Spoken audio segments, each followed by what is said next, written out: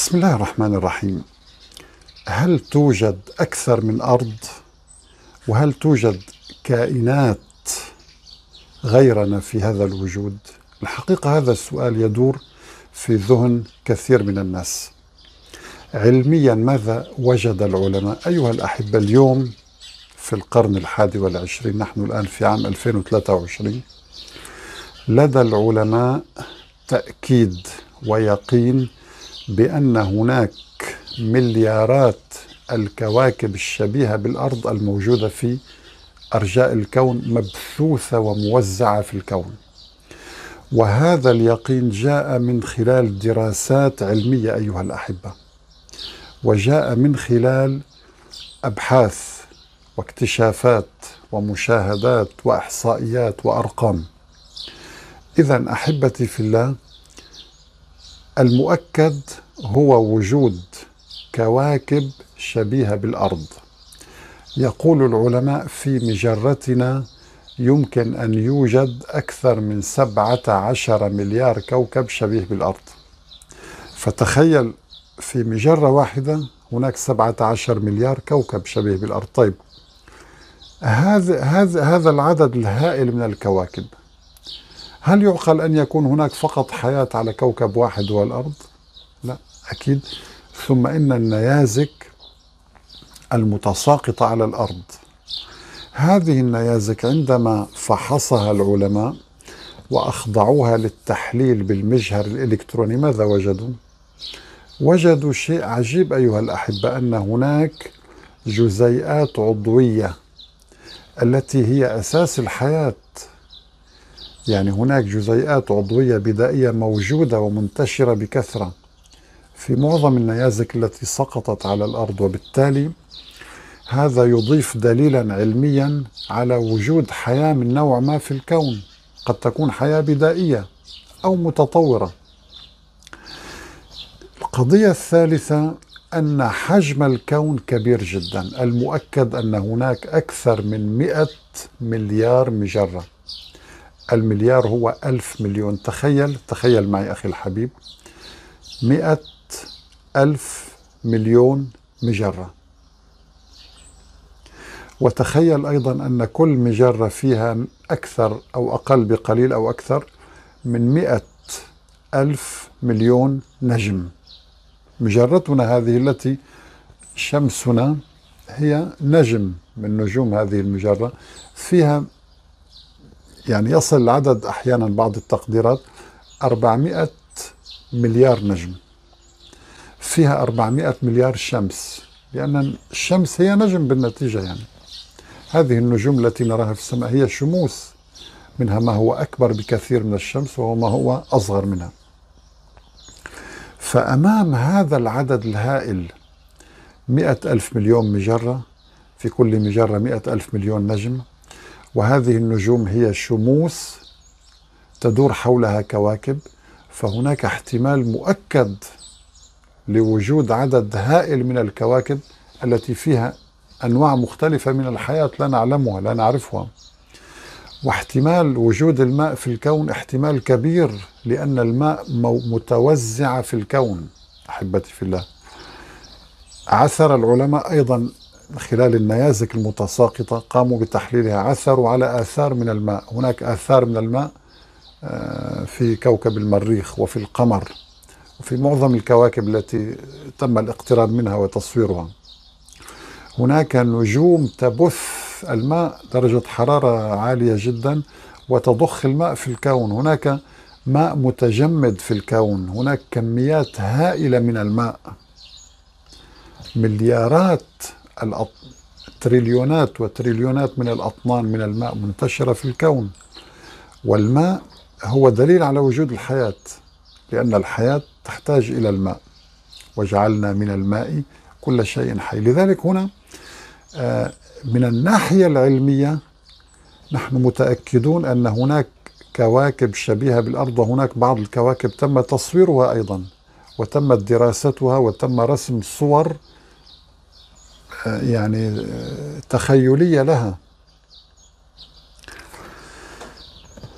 واحتمال وجود حضارات متطورة هذا الاحتمال موجود واحتمال أن يكون هناك كائنات بدائية عاشت على المريخ أو عاشت على كواكب أخرى أو تعيش اليوم في المجرات البعيدة أيضا هذا احتمال مؤكد طيب هل يمكن أن نلتقي مع هذه الكائنات؟ نعم من الممكن لأن هذا الكون مفتوح كما أن الإنسان صعد إلى القمر وصعد إلى المريخ عبر هذه بعض المراكب الفضائية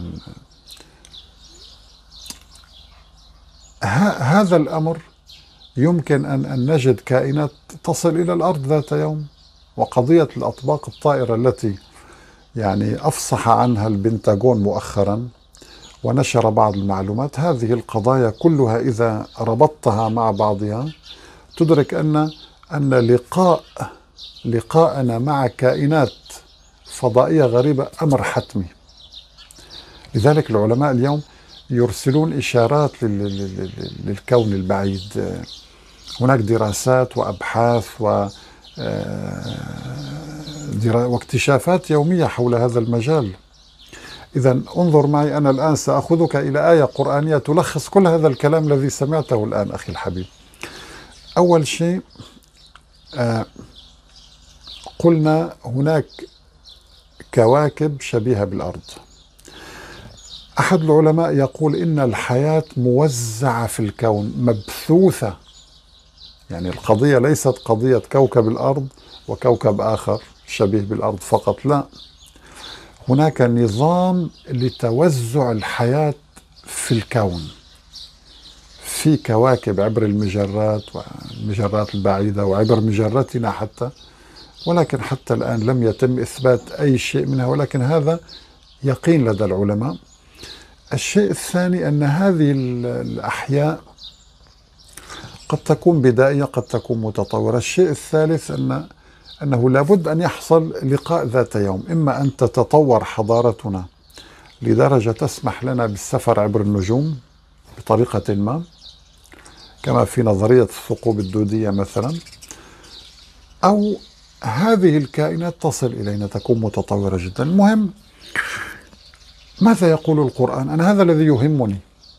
أنا هذه الاكتشافات العلمية يمكن أن تقرأها كل يوم. قضية سهلة كل واحد يقرأ ما يشاء. اكتشافات كثيرة جدا. ولكن أنا الذي يهمني ماذا يقول الله عن هذه الحقائق؟ ماذا يقول القرآن؟ هناك آية في سورة الشورى دققوا معي أيها الأحبة. الله عز وجل اعتبر أن خلق السماوات والأرض من معجزات الخالق. قال عز وجل ومن آياته أي من معجزاته. ومن آياته خلق السماوات والأرض. خلق السماوات والأرض. وما بث في الأرض لا. فيها لا. فيهما. دقق معي. ومن آياته خلق السماوات والأرض.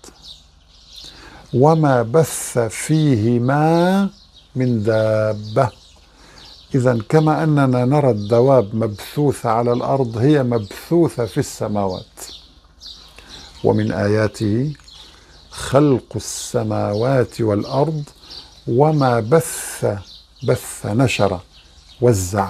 وما بث فيهما السماوات والأرض من دابة. طيب أين لقاء هذه الكائنات؟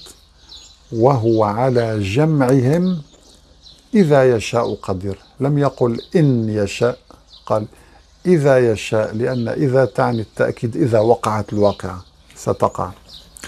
إذا جاء نصر الله والفتح أتى نصر الله بالفعل. إذا جاءك المنافقون بالفعل أتوا. آه، فإذا نفخ في الصور سينفخ فعلا. فإذا هنا للتأكيد إن قد يحدث وقد لا يحدث. كلمة إن في اللغة يعني إن تدرس تنجح إن تدرس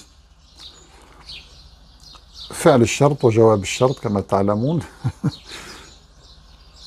ولكن قد لا تدرس. ولكن إذا قلت إذا درست نجحت أو ستنجح. إذا هنا إذا تأكيد أنك ستدرس. وهو على جمعهم إذا يشاء قدير. إذا الله يشاء وقدير أن يجمعنا معهم. ولكن متى الله أعلم؟ في أي زمن في أي عصر في أي جيل نعم. ولكن أنا الذي يهمني كما قلت لكم التطابق الكامل بين الحقيقة العلمية التي نراها اليوم ويحدثنا عنه عنها كل علماء الدنيا وبين القرآن الكريم لنزداد إيمانا. الله سبحانه وتعالى قال وما زادهم إلا إيمانا وتسليما. لذلك خلاصة هذا اللقاء أن هناك كواكب كثيرة جدا شبيهة بالأرض تعد بالمليارات في الكون وربما مئات وآلاف المليارات طبعا أرقام كبيرة خيالية.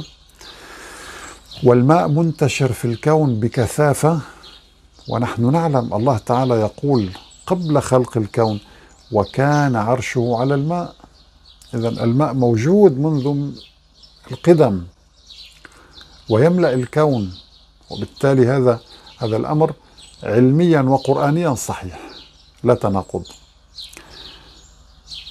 ومن آياته خلق السماوات والأرض وما بث فيهما من دابة. والتجارب التي أجريت على النيازك تثبت ذلك. وجود حياة بدائية في الكون وهو على جمعهم إذا يشاء قدير. إذا أنا يعني أرى تطابقا كاملا بين الحقيقة العلمية وبين الآية القرآنية. وهذا يثبت أن هذا القرآن كلام الله وأنه لم يحرف وأنه يطابق الحقيقة اليقينية العلمية.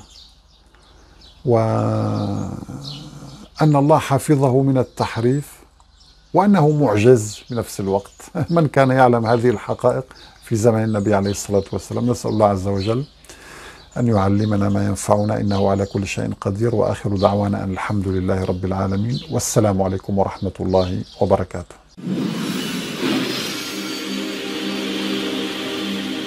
حتى يتبين لهم أنه الحق.